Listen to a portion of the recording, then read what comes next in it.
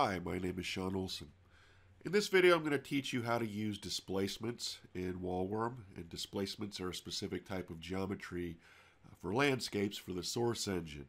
So we're going to work in both Hammer and Max to kind of show you the similarities and differences of working with displacements between the two applications and then we're going to go into advanced functions and features entirely inside of 3ds Max. So we're going to start the process in Hammer and then go into Max and show you the similarities and differences and compare the two. So first, we always have to start with a brush. So all displacements come from brushes. So I'm going to start with a single brush here. I'm going to zoom my view out so I can see this in the 3D view. And I'm just going to shift drag this a few times so that we can have a few of these in the scene and I can control click to select multiples, shift drag to make copies of your current selection. And your displacements, the edges of them uh, should always line up together. So I'm going to move this up here. So I'm just making a few of these so I can make a, basically like a little valley. And I'm going to shift drag these up here in this viewport and that's good enough for this example. So we're going to have a little valley corridor of displacements that we have along here. So to convert these into displacements, we go to the texture application tool and we go to the displacement tab, click select, and oops, excuse me. Click select and just select on the faces that we want to convert into displacements. Now notice for these brush sides, you must always choose that are quads. They have four sides to the brush. Otherwise, it cannot be converted into a displacement. That holds true inside of 3ds Max. It's a fundamental limitation of how displacements work in Source. So at the point we have these selected, we just hit this Create. I'm going to choose Power of 3. That's the resolution of these displacements. And you're going to notice that immediately it hides the brushes underneath, which are not actually going to export as brushes in the game. And it makes these displacements and we're going to stop here and now do the same thing inside of max. So we're in max here and we're going to do the same thing we just did. And I'm going to increase my grid spacing a little bit here. So in this case, uh, I'll do the same thing we did inside of Hammer. So I'm going to create boxes. And I have grid snapping on. So we're just going to create a box here. And I'll just do the same thing and we're going to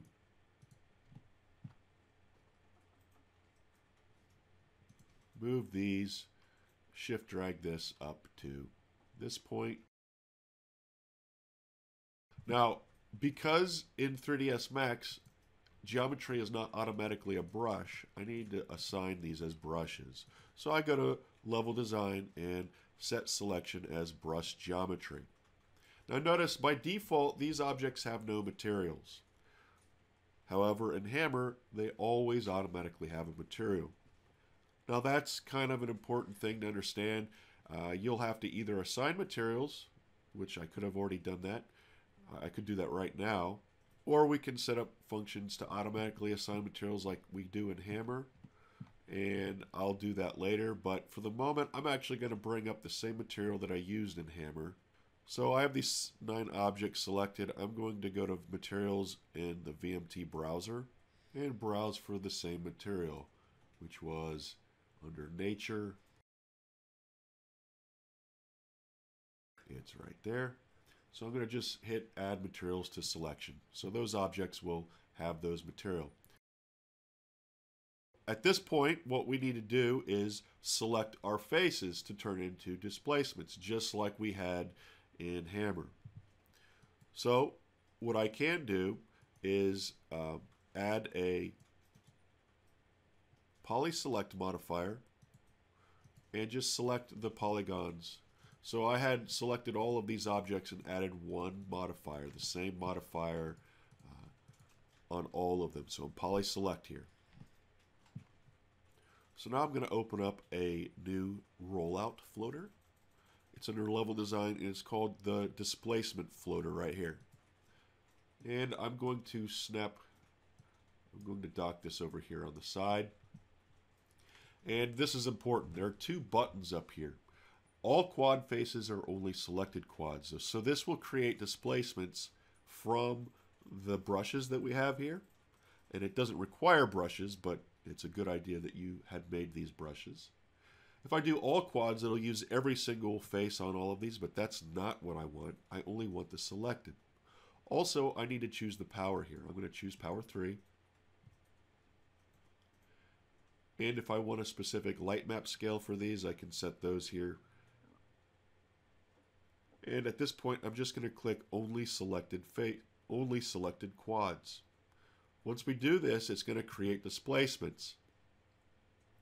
And when it did this, let me hit F4 here, you can see now that these are uh, triangulated as displacements are. So now we're at the same point between the two applications. So let's go back into Hammer because this is where the workflow is really going to diverge. So creating the displacements is fairly similar. Let's go back into Hammer here. So we're going to do uh, discuss the differences between the Hammer and Max workflow. So in, in Hammer, one of the common tasks at this point might be to subdivide these. So you might select all of these, we'll go to the displacement, and the subdivide function will create a smoother transition for all of these. So let's go ahead and do that, subdivide. So here we have the subdivision between these. And then we might want to paint alpha, so blend between the two. And in this case, we might start painting uh, between A and B, the materials A and B. So we might have down here, it's got some grass along the tops and the path where you walk, and then the walls are rock here. So this gives you an idea here. And then we can go in here and do sculpting. So there are different tools that you have in here for raising and let's maximize this viewport. So we can go ahead and go in here and sculpt our landscape however we want. We might want to raise the back here. And raise the back. Raise the back here a little bit more where the rocks are, etc., etc. Now notice I had selected all of the displacements at once and then started working with them in here. And that's generally not how you work with it inside of 3ds Max. You can, but there are many reasons not to. So I'm not even going to demonstrate this exact same workflow. What we're going to do is work with a type of object that's inside of 3ds Max called a sculpt mesh. So we're going to accomplish the same thing here, but we're going to use a sculpt mesh instead. So back inside Max, we have all of these displacements still selected. I'll go ahead and show you a way you could work with all of these at once in a hammer type method, but I'm going to explain uh, why you shouldn't use this approach and you should use the sculpt mesh method actually instead. So first I'm going to go and say, okay, we want to do some vertex painting on all of these. So because this is a, a, blend material, world vertex transition, which is two materials back and forth, I'm going to use the paint alpha function right here. So if I click this, it, it's going to add, add a modifier on here, and it's going to allow me to paint the alpha on these objects. And I'm going to do it like this just to make it kind of similar to what we had on the other one. So this is an instance paint alpha. And then I can go and add an edit poly modifier on top of all of these to in order to work on all of these at the same time. So if, for example, I'm going to bring up this thing called the ribbon and the freeform tools here and it's not showing me the freeform tools. And that's because you can't use these when you have multiple objects selected. So that's one reason this method is not what we want to use because these freeform tools here are what we want to really use for sculpting. But if you want to use, keep these all as separate objects, you can go into the edit poly modifier and go to this push pull and I'm going to push and pull in the z-axis here and you know go ahead and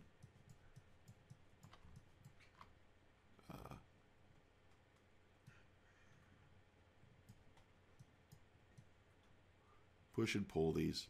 Now, you're going to notice here that when I do this, these are getting out of sync. So that's one reason we don't want to use this method. Now we can sew these. So uh, in Hammer, there's a function to automatically sew. And I actually see I have a displacement here I didn't expect to have. We'll deal with that. And so to sew these, I'm going to have to convert these to editable polys. And now add sew. And it will sew them. But we really don't want to use this method. So instead, I'm actually going to undo all of these changes and go back to where we were.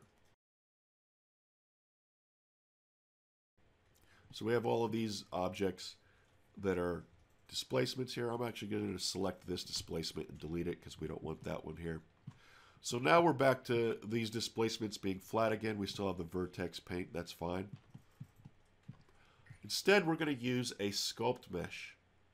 So the sculpt mesh, what it is going to do is going to create a new object that represents our displacements, but is not the displacement. So right now you see that these different uh, wireframe colors show the different objects selected here. What I can do is deselect everything.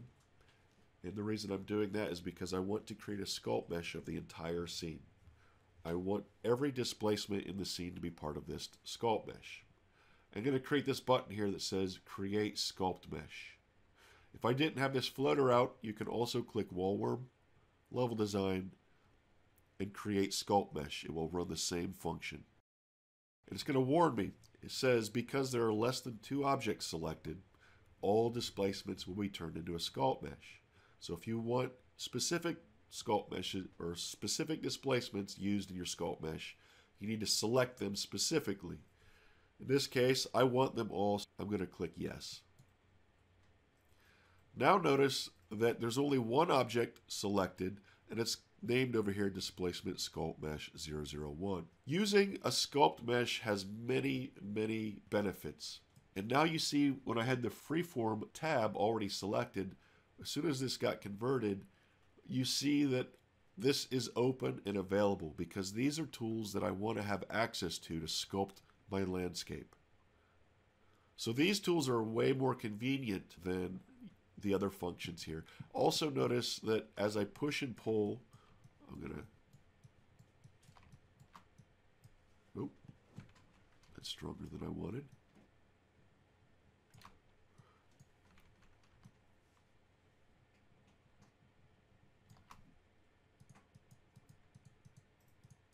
As I push and pull these, Let's bring my strength down to 10. It seems to be very strong right now.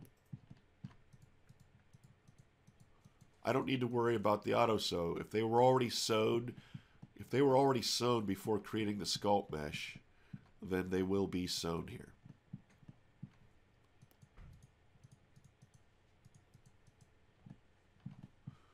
Okay.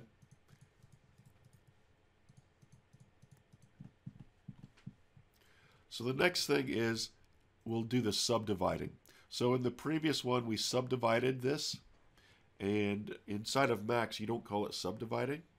We're just going to add a relax modifier. So if I go to the modifier tab, and in the modifier list here, select relax from the list, I can now modify it across the object with these spinners so I can in real time kind of see how this relax is happening. So I maybe wanted to have done this before I sculpted, but that's okay.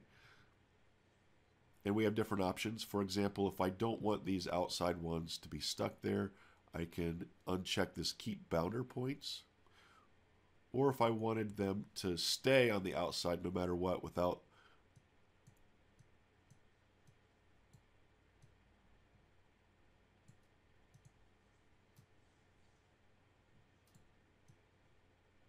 So we have a lot of control over this. And once we have this, We can then continue working with it however we want. We can keep on adding new modifiers on top of this if we want to, or I can convert it to an editable poly. Now notice that once I'm at the relax modifier stage, my freeform tools are gone. So I can go back down the modify stack and click on my editable poly, and now they're there because these tools are only available to editable poly. Now, any change I make here will be sent up the stack to the relax modifier. So if I hit, if I want to see the results of what I'm doing, including the relax modifier, I can click this button here that says show and results.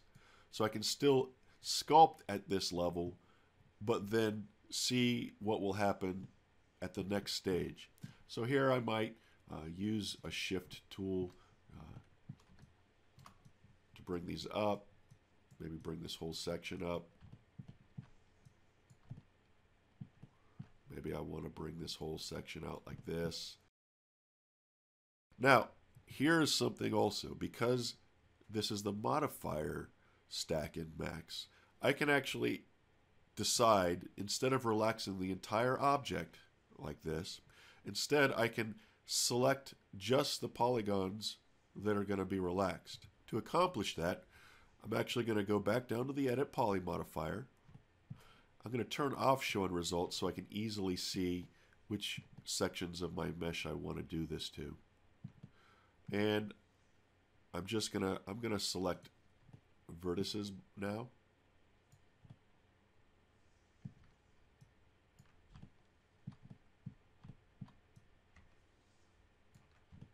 And I'm hitting control, control click uh, to, to add to my selection. And I'm just going to do it like this for now. And now we're going to show in results and see that the relax is only happening on the selected vertices. So you can see over here that we see these dots. That signifies that this object is now in vertex subobject mode. And that's what's being passed up the stack. So the relax modifier is only working on those selected vertices. So if I wanted it to work on more, I can at this level either expand my selection or I can actually say, you know what, I want the selection uh, to use something called soft selection. So if I click on this and I expand the fall off level, you're going to see that it's only go it's going out from that selection, but it's at a soft curve.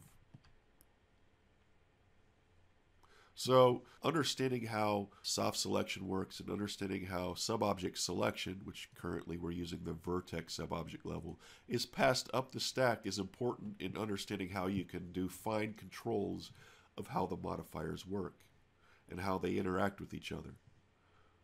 If I want to change this iterations here now, I can do that. And notice that anything that's outside those vertices of the selection are not being affected. So those that are directly in the bottom that are not included in the selection, they're not changing. Same with the tops. And you can see it's still demonstrating the soft selection fall off by the colors of the, the selected edges in this view, but it's driven by the vertices. Now it's important to understand that the because I'm in uh, vertex subobject selection, every new modifier I happen to add to this will only use those vertices. So if I add another uh, modifier on top, let's use noise. So this is another function in Hammer you might use to add noise to the landscape. In this, if I want to uh, do noise just in the x-axis, I can add it just in the X, so this modifier allows it, but again, notice it's only working on the current subobject selection. The ones outside of the selection are not being used.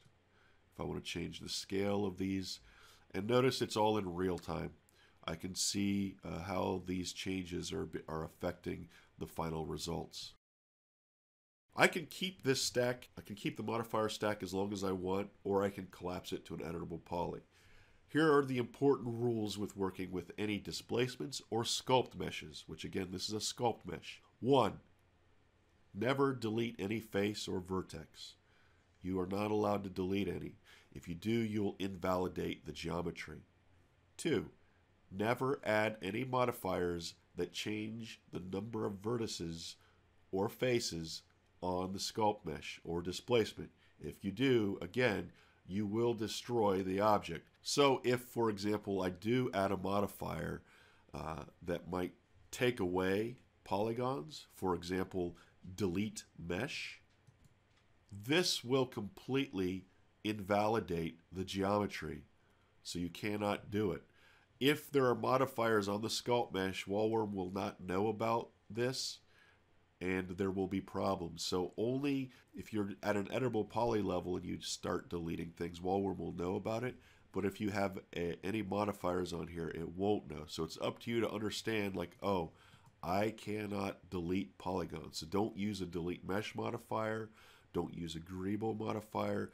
Uh, don't use anything that changes the number of vertices, the number of faces, or even the order of the faces and vertices inside the mesh. If you do add one of those modifiers, just make sure you select it and hit delete before you try uh, to continue forward with your sculpt mesh. It's very important. So because this again is a uh, is using the modifier stack and we have, we're going up and down it, I can still go back down to the base level. And if I want to, I can see it before any transformations or after. In fact, you'll see currently uh, the cage and wireframe of this is showing uh, with the vertices, the currently selected vertices. And uh, what the results are. Now, because we're using vertex subobject selection, and that's what we have selected and go up the stack, if I change the current subobject selection to a polygon, notice that the mesh actually completely, the end results of this is that not much happens because we don't have any polygons selected. And you see now this square here, this designates that that's the polygon subobject selection that's going up the stack. So in this case, hit Q here. If I add a selection to those polygons, now that's the only thing being affected by those modifiers. If I go back to the vertex subobject selection, we're getting these kind of results. So this is kind of important to understand, especially if you want to uh, work on different levels of this. If you go back down and, and change the subobject level, it's going to change the results you see here. So one thing that we can do, if we want this vertex subobject selection to start at the relax and go up, but we still want to change, say, polygons or other kind of things down below, what we can do is actually add a polygon select modifier at this point, and at that level, select that modifier and choose vertex subobject selection. And you can see now that this has those vertices selected and it's going up the stack. Now, if I show in results, actually, we to get the same results, we need to turn on soft selection at that modifier and go back up. So make it similar to what we had before. And now we can go back down to the edit poly modifier and go to other subobject modes and, and change things at this point without changing the subobject selection above because now we've kind of baked in the selection of the poly select, sent it up the stack, and now we can go down below it and work in the edit poly modifier and to work with other modes. For example, if I wanted to select the borders of this and uh, move them out. So we can see, you can see here that uh, it looks like the noise modifier might be causing that uh, to zoom in and out there in ways that we don't want. So let's go back and, and see why that's happening. And the reason that's happening is because our noise is using X strength. Probably don't want X strength here. Get rid of that. Right click the spinner to go to zero. And we're just going to spin this up and down. So now it's up and down.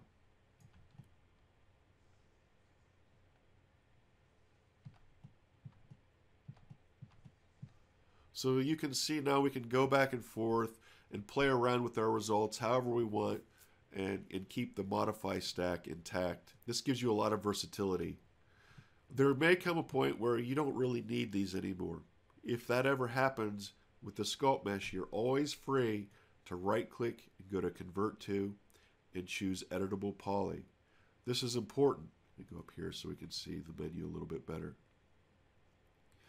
Always convert to editable poly. If you convert it to an editable mesh, editable patch, or any other type of geometry, it will invalidate the sculpt mesh. So do not do any kind of conversion except for editable poly. Only choose editable poly. So if I do this, notice that the modifier stack is now back down to just this base object, which is the editable poly, and all of those other levels are gone. Now again, I didn't, I wasn't forced to do that. I could have, or I could have kept it. So it's really your choice as you're doing your designing here. So now we say we maybe want to paint this a little bit more, the alpha. So again, we can just go to the paint alpha button over here and we might paint it. So the paint alpha uses black to white. So if I click this button here, it, it pops up the color swatch. Basically just go between these two. So if I want it to be fully, fully one material, I go to black. And if I want it to be fully one, the other color, I go to white. If you kind of need a mixture, you can go in the middle. So for gray, it's kind of both. It's a little bit more blended. And you can just do uh, whatever you need to do to make it look however you want it to do to look like. You can also, if you want to, use this blur. This is blur all. So if I click this, it's going to blur the entire thing a little bit, blend it in. You can also use the uh, blur brush. So wherever you paint becomes blended more between the two. Uh, it's already kind of blended, so we're not going to see much difference here. See a little bit here. So this is kind of important to understand that when it, when we're doing the vertex alpha blending, all it is is a vertex paint modifier, which is named by default when you click the paint alpha button WW Vertex Paint modifier. And you can see that it's choosing the channel Vertex Alpha. Now, if you paint on any other channel, it won't be the channel that exports. So this is the only channel you'll uh, be able to paint on for the two-way blend materials. For the four-way blends, which we'll discuss a little bit later, you use a different channel. So whenever we press this uh, Paint Alpha button, it's really just doing the same thing as had you had it selected and gone down and, and added a vertex paint modifier and then chosen vertex alpha and gone between the different modes here. Now, if you want to see the vertex alpha channel itself without the texture, you just click this button up here in the vertex paint and you can see in a black and white representation of the blending here. And if you want to, you can actually paint in this mode. So uh, if I wanted to have this a little bit dark here and painted that, you can see uh, in this mode what's happening. But if you want to see the textures, you just you click this button here and it will show you the texture blending. Now this is only going to work if you use specific type of materials inside of 3ds Max. If you want to see the blending in the viewport. I'm not going to cover that uh, on making those in particular, but I am going to open up the material editor and explain to you uh, the type of material. So I'm going to use this pick material button. Now this material was brought in with the VMT browser. I'm going to bring that out. This uh, allows you to bring in materials from the game. When we brought that in, it generated a shader tree here. That's a two standard materials piped into a blend material that's then piped into what's called a DirectX shader. The DirectX shader is using the World Vertex Transition effects file. That's a DirectX file for 3ds Max included with Wallworm, and it has all the parameters for uh, how this uh, World Vertex blend should look in the viewport. It's this DirectX shader that allows you to see this blending as you blend in the viewport. If you make your own, you may not be able to see this like this. So uh, you may need to see the docs on how to set up those DirectX shaders if you want to make one from scratch. So one of the values of having multiple vertex paint layers is that you can actually toggle them on and off. So I can uh, go back down to different layers of this and see uh, the different settings. So unfortunately, there is a kind of a, a, viewport bug that as soon as I disable this, it, it stops showing. But if I go back down to this level, then I can toggle the layers above it on or off. And sometimes you're going to see that it will kind of hide the blending. So you'll have to learn to deal with that. But you can save these on or off. And this way, if I don't want them, if I want to experiment with different views, I can keep different vertex paint modifiers on here and then just export the one layer that I choose to use in the end. So it gives you a way to save different ones. But if you don't need different views, as soon as you're done painting with vertex paint, it's always safe to convert to editable poly because that vertex paint information is baked into the vertex alpha channel of your mesh. So let's talk about these freeform tools just for a couple minutes here. And I'm actually going to remove them for a minute. Uh, if you don't see that toolbar at the top by default, you can always click this ribbon button that says show ribbon and it brings up uh, this ribbon. Uh, it's also called the graphite modeling tools and the freeform uh, tab is what we're using here. So the shift function lets you shift things uh, uh, from your perspective. Just click and drag. If you control shift and left mouse button, you can change uh, the strength of this object and the size. If you shift alt click, it's just the strength. And uh, again, control shift and left mouse is uh, showing you the circumference of that strength at full strength. And you can also, uh, whenever you click it, you'll see that it has this little floater here. Uh, you do have uh, the values that you can enter in directly here.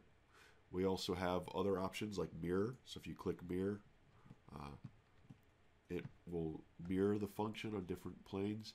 If you click this little arrow here, you're going to get different types of functions. So this is important. Uh, if you choose uh, the default brush affects depth, then that means that from your viewport perspective, an infinite, uh, it's infinite. So if I click on right here, every vertex of this object that this that this is passing through, regardless of where it is in the viewport, as long as it's from my perspective, it's going to click and drag. So notice both sides of this are being picked. Even if, so we have this side that's really low here, even if it's behind my viewport. So I'm going to click and drag this up you're going to notice that that side clicked and dragged up because it's an infinite selection. I'm going to click undo. If that's not what you want, you can change this to a spherical depth or a spherical radius. So if you click that, then it's spherical from the, the vertices at the point where you select from. So right now, if I click here, it's only on the other side of the mountain because those are the faces uh, that I'm selecting right now. So it's not affecting so if I bring that out, it didn't affect brushes over, or faces over here.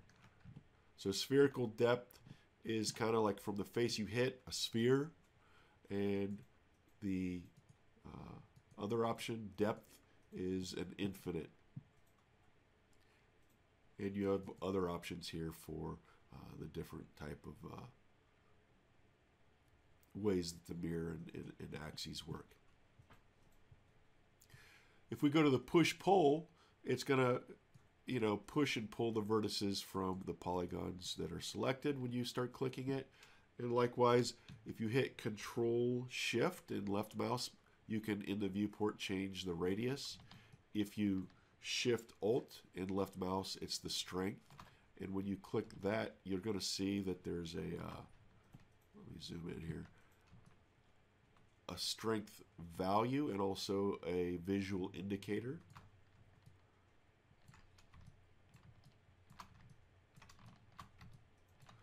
And if I click and drag, it's going to bring them out. If I alt click, it does the reverse. So instead of going up, it's going to go down. And also notice that like the other one, we have this little arrow here. And this gives you options. So for example, right now we're doing this to go from the original uh, the original normal. So it's going out from the normal of the faces that were selected. If I click this, I have different options here. So if I just want to go up and down in the world, it's transform Z. So these vertices now will only go up and not in any other one. If I change it to deformed, then it will continue to go out based off of the deformation. And once we have this uh, in a very blocky way like this, say that the geometry was all mangled up, we weren't paying attention, it was really bad, and we need to relax this area, we can click the relax brush and bring this all back in bring the value strength of this down. So it's if I hit F4 to bring up the uh, edge view, we can see the topology a little bit easier, more easily. So the relax brush is kind of like the subdivide. So we can subdivide, but it's you're just painting the subdivision.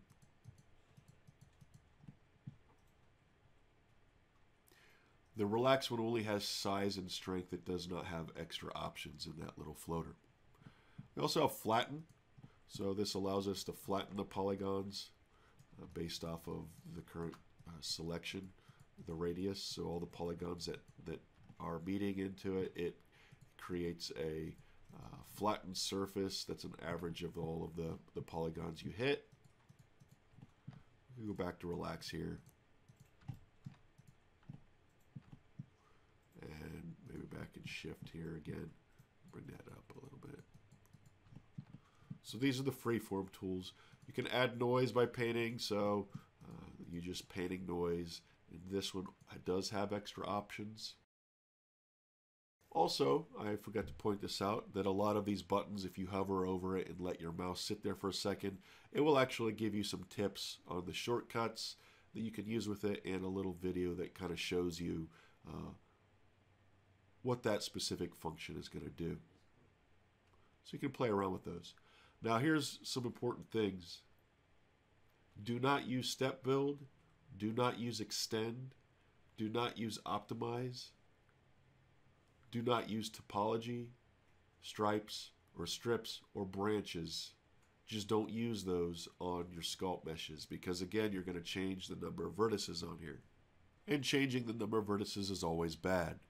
I'm going to go to the vertex subobject selection and notice the red vertices because it kept that vertex selection we made earlier on.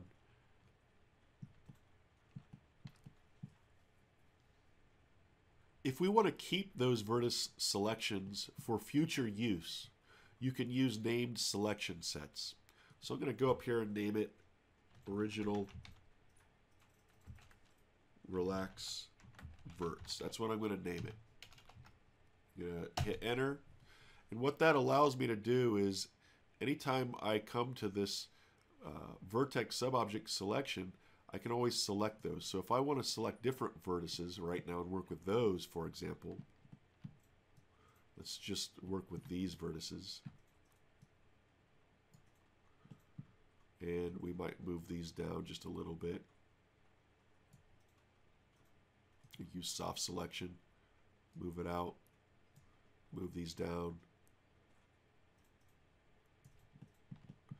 If I want to get the original vertices, all I have to do is select it from this list. But I'm going to actually keep this one also. So I'm going to name this uh, trench verts. So now I can go back and forth. I'm going to choose the original verts, and it's selecting those. I can get rid of soft selection if I want, and it's just those vertices and I can go to the trench verts. So this allows you to, to remember sets of vertices to work with at different times, and it's very useful. There are things that you can do to, to delete or to destroy these vertex selection sets. Uh, modifiers, adding modifiers will do that. So you kind of want to make sure that if you're going to use these a lot, you're probably just sticking with the editable poly or you've already done stuff with the uh, uh, modifier stack and you've done all that stuff and now you just want to use vertex selections. And the same thing holds true with uh, polygons. You can create polygon selection. So again, this is a selection I made earlier before we collapsed everything and it's still there. If I want to uh, select all of these and we'll call these uh, trench polys. Those ones will be available anytime I'm in vertex or in polygon subobject mode. So if I want to go back, I just click it. Go back to the vertex subobject mode and you see I have access to those uh, vertex selections. It's a very useful tool in modifying different sections, especially if you're not done and you're not sure and you need to go back and forth. So now let's discuss some new functions dealing with sculpt meshes. As mentioned earlier, sculpt meshes are not actually your displacements. They're actually just an object, an editable poly object with certain data tied to them that are tied back to your original displacements. In fact, those displacements still exist in the scene. I'm going to open up the Layer Explorer. It's on my other screen here. And you're going to see here uh, the scene is fairly small. We have the sculpt mesh right here selected and visible, but down below we have these uh, WW displacements and they're hidden. If I select all of those and click unhide, you're going to see that they're still there and they're unchanged. They're in the original format before the sculpt mesh was made. Now this is important because the sculpt meshes, any change you make to them must be committed before the displacements uh, get those changes. So right now, if I export the scene into source, what you see currently with the highlighted edged uh, displacements is actually what's going to export the game, not our sculpted landscape. So in order for us to get the landscape results in here, we have to commit the sculpt mesh. So I can do that in a few ways. And one of the ways is if I want to commit every sculpt mesh in the scene, I deselect everything and then click this button over here that says commit sculpt mesh. There are other ways to get to the same function. If I click Wallworm, level design, there's commit sculpt meshes. When you do this, if nothing is selected, then all sculpt meshes in the scene get committed. So when I click this button, Commit Sculpt Mesh, it's going to prompt me, because I have nothing selected, that there are no objects selected and all sculpt meshes will be committed. This could take a while depending on your system. Now it works much faster in 3ds Max 2018.4 and later, so I highly recommend you use the latest version and I recommend that should be 2019.3 or later. I'm going to hit yes. Now all of a sudden all of those displacements are matching the sculpt mesh. So bring out the layer explorer here again. Let's hide the sculpt mesh and just look at the displacements and you can now see that they all match the sculpt mesh. So at this point, once we export the scene, this is what we will see. So until I had committed the sculpt mesh, which then transferred the sculpt and blending data back to the original displacements, nothing would have exported, but now they will. Now this is a default feature in uh, sculpt meshes, so I'm going to unhide the sculpt mesh. If I select the sculpt mesh and then go to the modify tab, it will immediately hide the displacements that are underneath it. Because generally speaking, you should not be editing the original displacements. You should only work on the sculpt mesh. Because this is also an important thing. If I actually go and select this displacement, for example, and if I edit this displacement independently of the sculpt mesh. Let's say we bring out a few of the vertices here.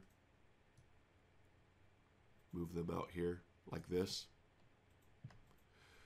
If I then commit my sculpt mesh, so once I selected it, hid that object. Let me unhide all of these again. So we have that one. Once I commit that sculpt mesh, that, that displacement actually is going to go back to what the sculpt mesh had been sculpted to. So that's an important thing. Don't work on the displacements, work on the sculpt mesh. So I'm going to go ahead and go to the Modify tab while I have the sculpt mesh selected. And again, it hid all of those displacements. Now we're going to discuss a, a rollout in here called wallworm functions. Now again, a sculpt mesh is just an editable poly object. However, it has a custom attribute applied to it with all of these wallworm functions. So a lot of the things that we saw in this floater over here are actually available over here on the right. And now we're going to discuss this button display walkable here or over here display walkable. If I click this, you're going to see all of the polygons highlighted green that you cannot walk on. So this allows you to see if, the, if how you sculpted the landscape, where you can walk or not walk. We can also just uh, paint vertex blending, the alpha painting with this button here, or four-way blends. So which of these you choose to use is dependent on which kind of material is on your object. This is a two-way blend, so we use alpha. Four-way blends will be covered later. So I'm going to turn off display walkable so this next function will be easier to understand. We have this button here that says expand to displacements and expanded displacements polys and I'm going to show you what those mean. If we go to any polygon subobject or any subobject level and select a subobject like this vertex, if I click this expanded displacements, it's going to, in that current subobject level, select all of the subjob select all of the sub-objects of the sculpt mesh that belong to that displacement. In this case, I think I selected one that was a vertex that was belonging along the edge of two displacements. So that's why it has selected all of those. If instead I just select this one, you're going to see these are the uh, vertices that belong to the same displacement. So vertices are kind of hard to tell. Uh, but I'm going to actually do this. I'm going to select one vertex here and hit this other button. This is similar except for it switches it automatic automatically to polygon subobject mode. So notice right now in vertex subobject mode. If I hit expand to displacements polys, it selects all of the polygons that belong to that same object. So this lets you see, okay, that represents a single displacement right there. And there's the border of this displacement. So if I select, if I control click another polygon and hit expand to displacements, we're going to see all of the polygons that are part of that. If I click this and expand to displacements, it's going to expand them all. If I select like these, and this one, expanded displacements. So this is helpful for different things and we'll discuss we'll use this in different scenarios as we go forward. Here is a function down here that says select small faces. So this is a curious function. I'm going to hit this right now and it didn't find any faces below this. The reason you want to use this is because you can run into problems if you ever have extremely small face sizes. So generally you want to avoid very tiny face sizes. And we're going to create this problem by taking a vertex, turning on vertex snap mode, and I'm going to move this vertex into that. So what we're going to essentially do is make two of these faces, two triangles of this, have zero surface area. So now I'm going to select small faces. And now those faces are currently selected. If I go up to the selection here, it's going to say two polygons are selected. Now, they're very hard to see because they're they're collapsed essentially. But if I'm out here and I don't know where they're at, you can see that the gizmo takes us there. So the giz selection gizmo, the transformation gizmo, is at the center of those uh, selected faces. Also, if I hit Z on the keyboard, it will take me to that section immediately in the viewport. And this will allow me to go through and uh, fix this. The reason is if we try to commit this, we're going to have problems. And if we ever collapse this and remove the sculpt mesh or export it into the engine and then for whatever reason try to re-import it, we're not going to be able to make sculpt meshes out of it. So what you'll need to do is is learn how to fix that. So I'm actually going to right click and hit convert to vertex. So it selected all of the vertices that belong to those. I'm going to deselect uh, those vertices down there and I'm just going to deselect one vertex so now only vertex 25 is selected. I'm going to turn off snapping and move this one up a little bit and now I have access to this other one. Also, instead of doing that, I could have used the relax tool. So relax is a way to fix this. So I'm going to bring this resolution down and just click there. So there, now that fixes that. So if we go back over here and hit select small faces, it didn't find any. So right now it uses a size of 8. Uh, that would be 8 units squared. Uh, you can use a larger one if you want to to find uh, different levels of them. Now notice here, I'm looking at this and I see a rat's nest. We have a sculpt mesh going into itself because of uh, some of our push pulls earlier. Probably once we have the relax tool here, fix that because you don't want to have rat's nests in your uh, displacement. So let's go down to this next group of controls. This allows you to assign, make changes to the materials or attributes of the displacements underneath. Now, these functions happen in real time and do not need to be committed. What happens is when you make a change here, it's immediately updated on the underlying displacement. So it works on the current subobject selection. So in this case, if I wanted to remove dirt, certain type, if I wanted to remove collisions from the upper displacements up here, what I would do is this.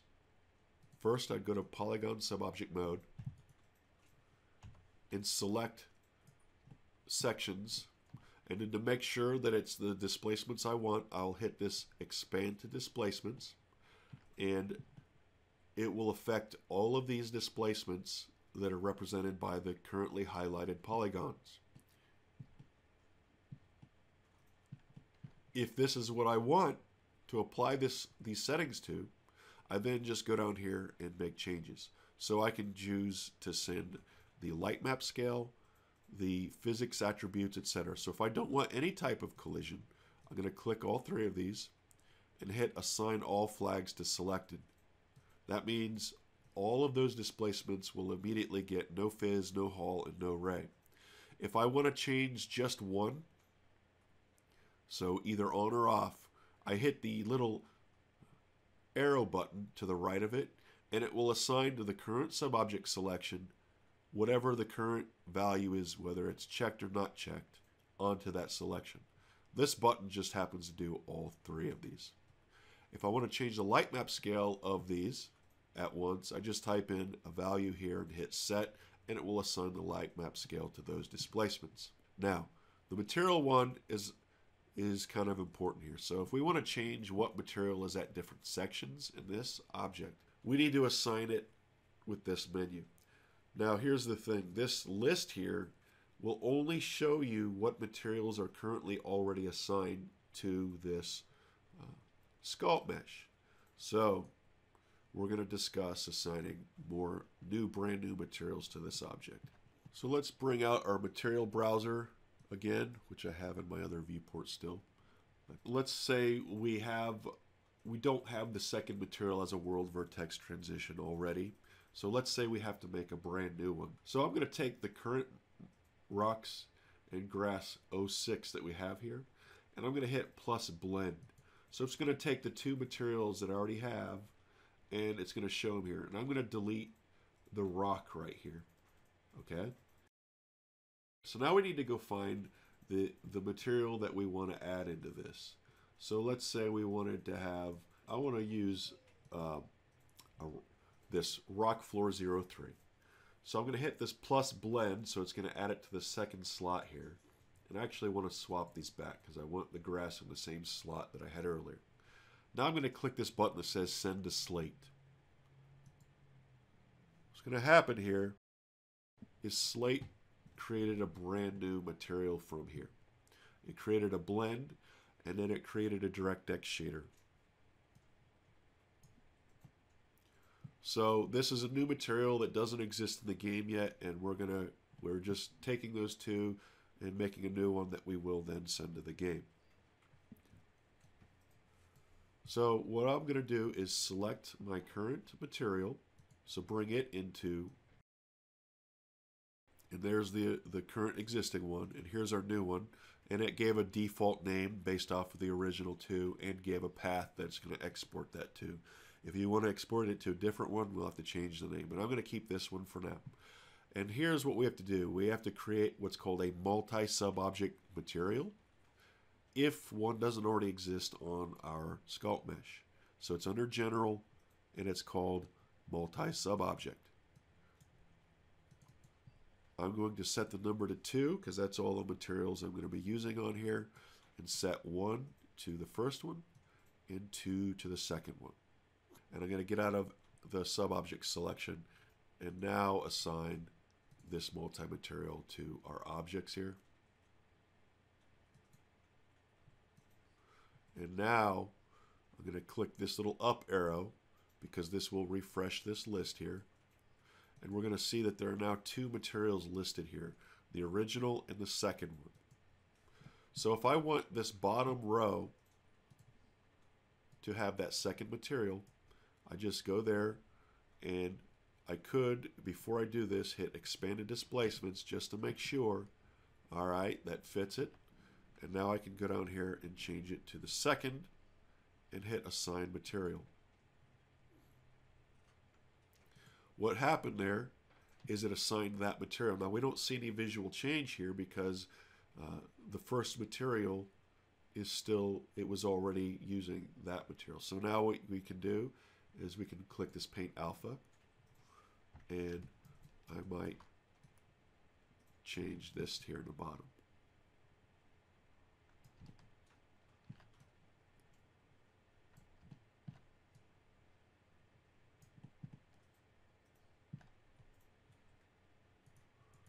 Right click, convert to editable poly.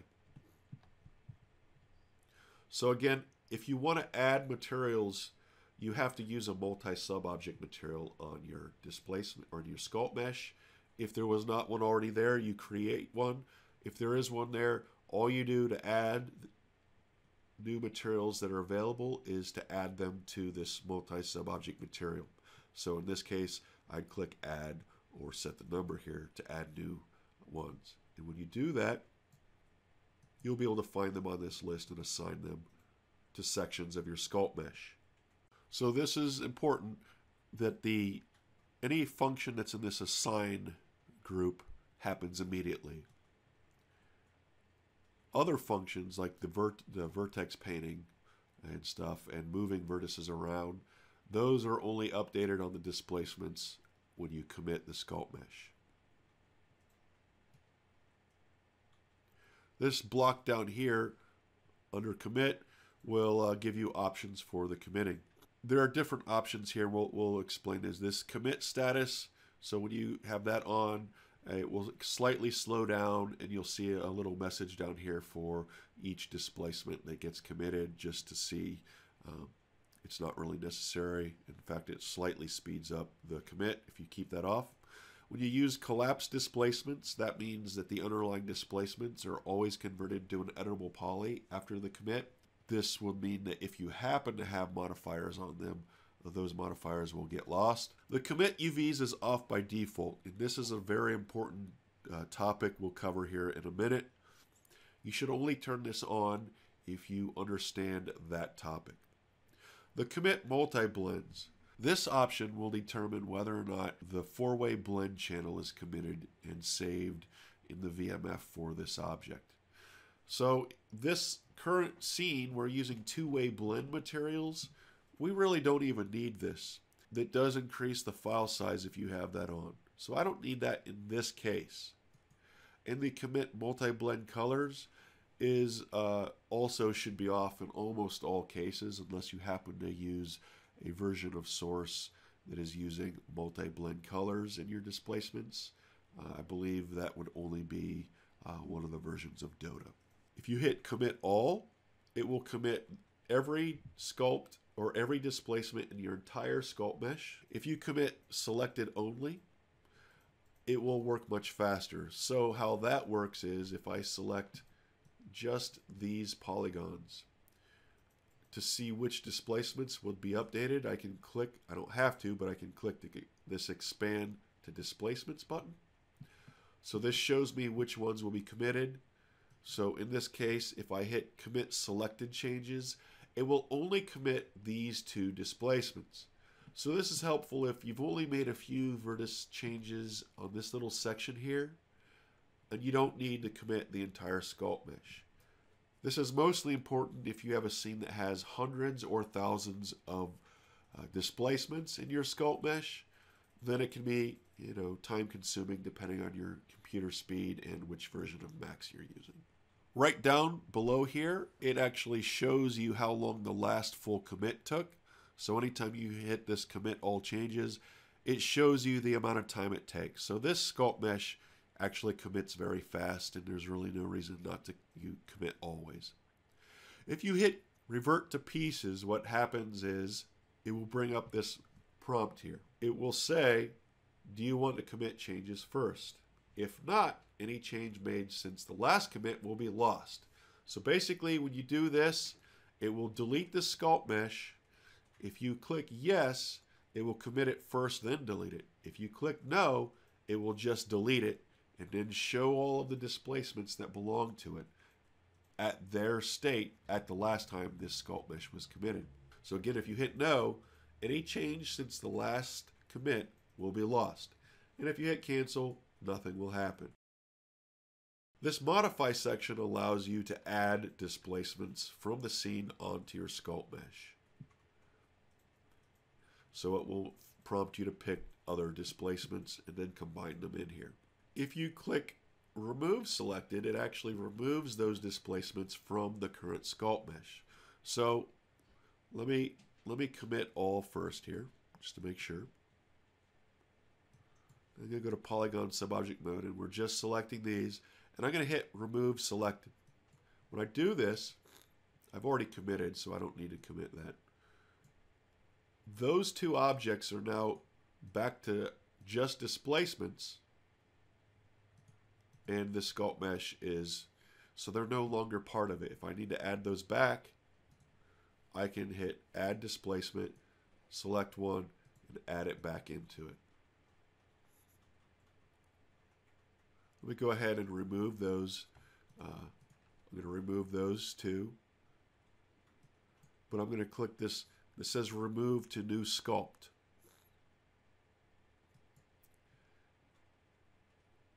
If I do that, those two become a, a separate sculpt mesh.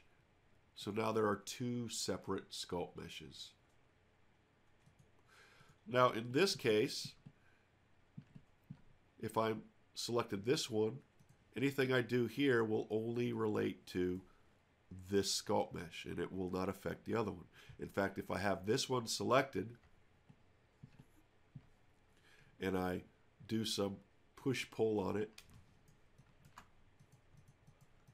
You'll notice that it's no longer lined up with that one. We're going to go ahead and commit this sculpt mesh. Commit all. Now what if I wanted to bring these two back together or sew them? Sculpt meshes will not sew together um, necessarily. So I'd have to combine them to sew them and we'll show you how to do that. So if I want to combine these back into one sculpt mesh, I select them both. And over here in our displacement settings floater again, which again, which we found under the level design launch displacement floater option here. I can click this button over here that says merge selected sculpt meshes. Now which one you have selected first becomes the one that's kept and the other ones are merged into it. So I'm going to select the large one first and then hit control click to select this other one and click merge selected sculpt meshes. Now once we're here we can go in and sew these. I'm going to select these like this and expand to displacements just so we can see here. Actually, an easier way to select these would have been select the border and then expand polys. So there we see that there are four displacements that are part of this. If we want to sew these, we go down here and hit sew selected. I do not want to commit this because it's already been committed. Click no. It has to actually detach them, sew them, and reattach them, but it did that. This next group of functions I'm not going to cover in this video, and uh, these other ones here in miscellaneous, I'm only going to cover one. So that is the quadrify me. The triangulate me function does not work. Uh, it's just there for the intent of adding it in the future. Quadrify me. So this function is a little bit dangerous. So let me explain why. You should only use this if your materials are using seamless scale. You should only use this function if you're using seamless scale or if you are not committing the UVs, uh, changes from the UVs. Because the quadrify function cannot keep UV changes. So if you change any of the UVs in this object, those UVs cannot be saved after you've been quadrified. So whatever UVs we currently have, if you quadrify me, they're stuck on that until this sculpt mesh is completely destroyed. Now the value of the quadrify me function, notice that the mesh is triangulated. However, there are many functions in Max that are optimized for a quadrified mesh. If you click quadrify me, here's what happens. You can now uh, see that this mesh is quadrified and we can use all the, the shortcuts that you would normally use with a quadrified mesh. So if I go to edge mode, if I double click this edge, I can select the entire uh, loop here. Same with polygons. If I control click, I can select that. And I can add with loops a lot more efficiently than if this was not quadrified. There's also one other caveat with quadrify me. If your mesh is quadrified, the display walkable function may not be 100% accurate. In fact, there's a good chance it's not because it works at the polygon level. And the actual display walkable for complete accuracy is on the tri level. So it's only mildly accurate. So this display walkable is working on the polygon normal instead of the triangle normals. So that's something to be aware of. And if you really need the, the display walkable function, our only solution here is we can commit all, revert to pieces, and then create a sculpt mesh from these displacements again. So now we're back to an actual uh, a sculpt mesh that actually demonstrates the, the display walkable by triangle.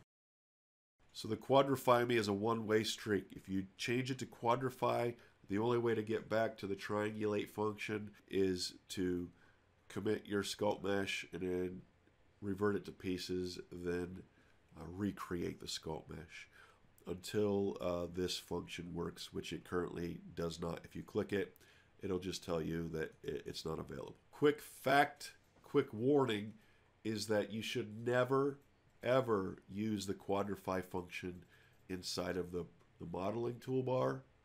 If you do that, you will invalidate your sculpt mesh. So if you want to quadrify it, you need to use the quadrify me function in the sculpt meshes modify tab. So that's a few, uh, that's the majority of the functions in the modify tab of a sculpt mesh that we're going to cover. Uh, there are a few more that we didn't cover, but you can look in the docs and or uh, wait for uh, updated information in the future. I'm going to turn off display walkable and we're going to discuss some other uh, features and functions about displacements inside Max. So the first one uh, we're going to discuss right now is when, when working with displacements, you a lot of times see these UVs that are stretching as you sculpt them. And, you know, there are different ways of dealing with this. So, on one hand, you may be tempted to change the UV scales of uh, your displacements. So, we're going to discuss how to address this and we're going to discuss UVs in general. I'm going to actually remove this for now and get rid of our ribbon here. We don't need this for now. Here's a couple things. Now, this is related to how displacements are stored technically in, in the source engine format. There are very few things we can do to these displacements that are valid, okay? Because every displacement, the UVs for it are defined by a plane of the original brush side from which it was displaced. If you want to modify the UVs on a sculpt mesh, the safest way to do it is to use what's called the UVW X-Form modifier right here. This should be the only modifier you ever use to change the UVs of your sculpt meshes. You should never use any other modifier. When we do this, we can do things like changing the tiling, uh, change it to like 2 on the U and 2 on the V. We can change the offsets to slide them around. Of course, this is global. So if you want it to be on specific uh, specific ones, we can add polygon selections and choose the you know underlying displacements. And it has a rotation, which will rotate the UVs. To go back to where we were initially. Those are the only versions you should ever use. So let me just discuss one thing that you may be tempted to do and why you should not do it. So I'm going to go delete that modifier and I'm going to add a unwrap UVW modifier and we'll open the UV editor. So you'll see that every one of these UVs is still projected in the original polygon uh, from which it was located. In fact, I can, if I want to, I can't use this unwrap modifier, but I have to be very careful that all I ever do is either move, scale, or rotate, and it has to be at the element level, which would be each and every single one of these, right? So you should never, ever modify these at a level that's different. So you should never uh, relax. For example, if I select this and I go to the relax menu and do this to relax it to the actual shape, it may look like what you expect it should look like. Hit F2 to toggle that. And I got rid of stretching. In fact, if I go up here and we'll select that whole thing here and we'll relax it, we'll go to this one and, and move it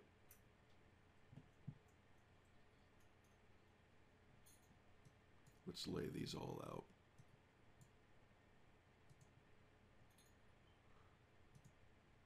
And we'll select this one. Let's scale these up so that they, uh, so this makes sense here. So if we select this one and hit relax, it may look better in the viewport. Here's the thing. These UVs will not be what's exported into the game engine. If you ever relax it or move around vertices like this, whatever vertices you move will not work. The only thing you can do is at the entire element level, move, rotate, and scale. Anything different, like this relax, will not work. It works for models and other types of geometry. It does not work for brushes or displacements. So do not do that. So I'm going to go ahead and delete this modifier and go back to where we were before that happened. So what if we want to get rid of this stretching? We'll discuss that now. So how do we solve this? If you're using a material that just appears stretchy like this, you may have to either update the material or create a new one. So I'm actually going to open up the material editor, which I already have open in my other viewport here. And I'm going to double click the DirectX shader that's used for this object. I'm going to scroll down here to a section that says Be Seamless. It has a value here for seamless scale. This will turn on a function of the material called seamless scale. When you turn this on, the UVs of the object are just not even used. I'm going to click this and uh, you can see that the strip down the middle I must have assigned a, a different material there. That's okay. We'll fix that. And I'll go to this other material and turn it on as well. Be seamless. So notice now that there is no stretching, no matter what. Well, you'll see a, a little bit of stretching on any on corners where one of the polygons on the corner is facing directly north and south, directly east and west, or directly up and down. So if they're hard edges like that, you can see some. So in this case, um, there's a little bit of stretching here. So to get rid of that, we'll open up our ribbon again, go to the relax tool, and relax this a little bit. So if we have multiple materials like this, um, let's go ahead. Make sure. Let's assign. Uh, make sure these are all using the same material.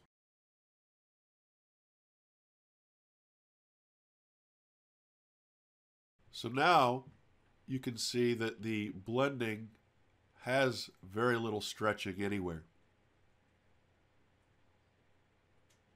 So seamless scale is something, so there's a little bit of stretching, and you can see it's because we have a hard edge approaching 90 degrees, and one or more of the faces are facing in straight, uh, uh, what are the cardinal directions?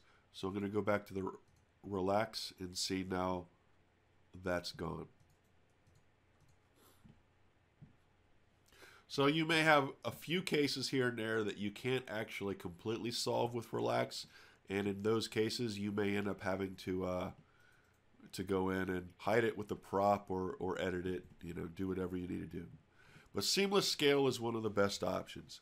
Now here's the thing: this is at the material level. So with the material that I created, this one right here, that's perfectly fine because this material doesn't exist yet in the game until I export it. This other material right here already did exist in the game. So because this is an existing one that already has a, a set parameter used in other levels, I'm going to have to actually change this material. So I'm going to I'm actually going to double click this material and change its path or copy the path that it used. And I'm going to double click this one and paste the same path. And I'm going to copy that name that I have to this and paste the name in here. So I gave the blend material the same name. What this means is I have to export these two materials before they'll be available inside of source. So to get these materials from this into the game, these new materials, I need to make sure I have the sculpt mesh selected, which I do, and I click Wall Worm Exporters, Export Brush Textures. Now again, this isn't just a brush here, this is displacement, but this is the option you're going to choose. We'll click that. It's going to bring open this uh, menu here. It's going to list uh, any of the materials and textures among the current object selection. Now here's the thing. Some of these are unselectable and some of them are unchecked. Those that are unchecked are are unchecked because those things already exist. I don't need to re-export these base textures because they're already part of my game. All I need to export is the new material, which is this blend material, and the tool texture, which it creates. So both of these. So I just hit export selected. And now we'll have our textures in the game. So at this point, we're going to go ahead and send this uh, landscape uh, to, to Hammer just so you can see it. And you don't need to use Hammer for any of your level design for Source anymore, but we're just going to do this just so you can see. Before we export, just as a precaution, we'll want to commit the sculpt mesh. So we're going to go ahead and choose commit sculpt meshes. This will make sure that any of the changes here are definitely committed. Now we'll export this as a game level. So as long as I have this option here that says displacements, my VMF will include all of my displacements. I'm going to go ahead and just export this. I'm going to send it to my desktop and uh, save it as this VMF file that we, and I'm going to open up Hammer here again. So let's open up our scene here in Hammer. And here we go. You can see that we have our displacements in here.